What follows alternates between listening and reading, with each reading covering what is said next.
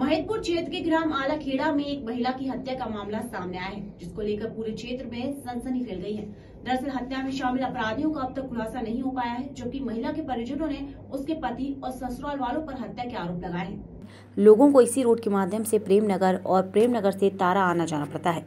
इस रोड में आए दिन दुर्घटना होती रहती है और दुर्घटना होने की संभावना भी बनी रहती है। रोड की स्थिति इतनी खराब है कि मोटरसाइकिल के माध्यम से लोगों को आने जाने में बड़ी ही दिक्कतों का सामना करना पड़ता है, क्योंकि जो प्रधानमंत्री सड़क, इस सड़क की स्थिति बहुत ही जर्जर है, जिसमें से गिट्टी बाहर निकलने के कारण कभी कभी मोटरसाइकिल का बैलेंस बिगड़ जाने से दुर्घटना हो जाती है। इस प्रकार से लोगों की परेशानी बढ़ती जा रही है और ना ही लोगों की सुविधा को किसी भी प्रकार से बेहतर बनाने का कोशिश नहीं किया जा रहा है और ना ही शासन और ना ही प्रशासन के जो उच्च अधिकारी हैं, वे किसी प्रकार का कोई ठोस संज्ञान क्यों नहीं ले रहे हैं? और लोगों को जो सड़क की समस्या है, उसे पूरा क्यों नहीं कर पा रहे हैं? ताकि लोगों को आने जाने की बेहतर सुविधा दिलाई जा सके।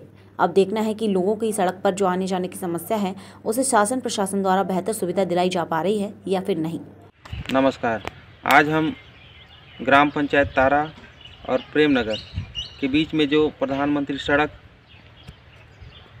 जो निकलती है, उस सड़क की स्थिति बहुत ही ख़राब है। लोगों को आने जाने में बड़े ही कठिनाइयों का सामना करना पड़ता है। आए दिन इस रोड में दुर्घटना होने होते रहता है और दुर्घटना की संभावना भी बनी रहती है।